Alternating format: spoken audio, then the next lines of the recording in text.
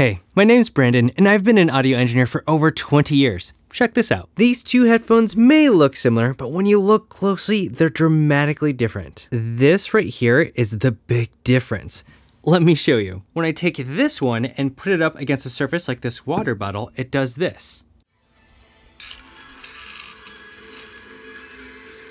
Pretty cool, right? This is a Shokz Open Run Pro, which primarily uses bone conduction technology. However, the Shokz Open Run Pro 2 produces sound when you rest it against something, and it can produce sound independently. That's because it has bone and air conduction technology, which they call dual pitch technology. It's unique to see both of them combined, which makes this very exciting. One of the most significant advantages of the new Open Run Pro 2's dual pitch technology is that it retains the benefits of bone conduction technology while significantly reducing excess vibration users might feel from bone conduction while increasing audio quality. So what is bone conduction? How does it differ from air conduction? And what is it like when you combine them? Thanks to Shokz who is sponsoring this video to help us learn how these two forms of conduction work by comparing their first generation Shokz Open Run Pro and the new Shokz Open Run Pro 2. As always, the Shokz Open Run Pro 2 is an incredibly comfortable, lightweight, open ear design that allows you to be aware of your surroundings. It comes in two sizes, is water resistant, and can handle sweaty workouts and runs. That's why wearing them during a marathon, biking, or other fitness activities has become so popular. Bone conduction, which Shokz is famous for,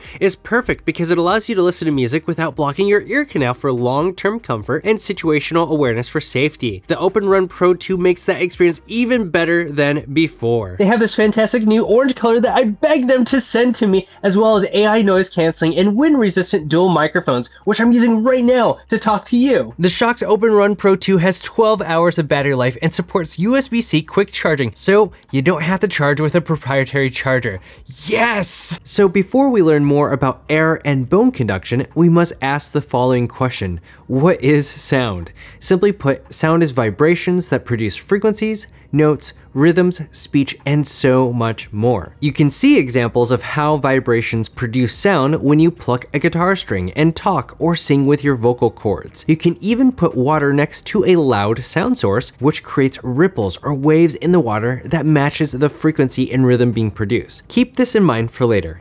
Now, let's take a deeper look at the first part of dual pitch technology. I'm fascinated by bone conduction technology, the primary technology in the first generation Shokz Open Run Pro. Unlike traditional air conduction speakers, which we'll talk about next, a bone conduction speaker has a transducer that creates vibrations and rests against your cheekbone so that your body is resonating and making the sound. This is like when I rest them against other objects. A traditional air conduction only headphone or earbud does not vibrate like this, so they do not amplify sound when you rest them against something. What's incredibly fascinating about bone conduction is how it bypasses your outer ear and relies on the inner ear. That means you can hear the sound without something covering or entering into your ear, which is perfect for comfort. It's also a technology that makes it possible for those with certain types of hearing loss to hear, which is wild. This is all possible because of vibrations that go through your cheekbone to your cochlea. The cochlea is a critical part of your ear that comes after your eardrum, and that allows you to identify sound through both air and bone conduction. The cochlea can identify sound because it's filled with liquid that will ripple when it experiences vibrations or sound. Remember how we looked at water rippling when sound was produced earlier?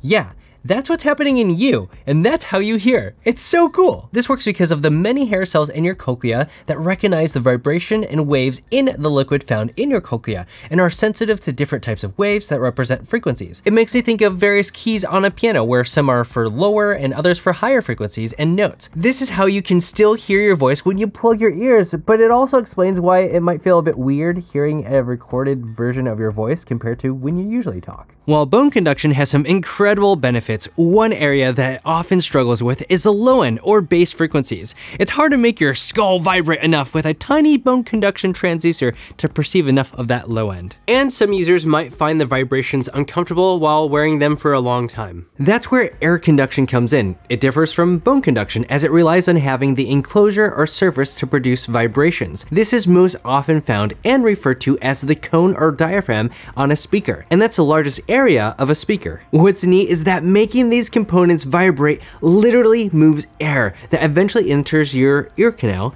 reaches your eardrum and in turn creates waves in the liquid found in your cochlea, hence the name air conduction. You can get an idea of this when you're at a concert by the subwoofer and you feel the air being pushed out with the beat, or you feel your pant leg shake while listening to music in your car. This is the method of most headphones, earbuds, and speakers, and it's much better at producing low end frequencies. The downside is that it doesn't always sound as good for personal audio use if it isn't over or in your ear like most headphones or earbuds. That's because it relies on your outer ear or your eardrum, and it blocks your ability to hear your surroundings because, well, it's closing off your ear from your environment. So, what happens when you combine bone conduction and air conduction technology? We can see what that is like on the Shokz Open Run 2, which has dual pitch technology. With the Shokz Open Run Pro 2, you get the best of both worlds. The air conduction transducers fill the low end, allowing you to enjoy a fuller sound while keeping your ears free and comfortable. The result is the most balanced and vibrant sound I've ever heard from Shokz. Plus, you can adjust the sound to your liking with the equalizer in this Shokz app.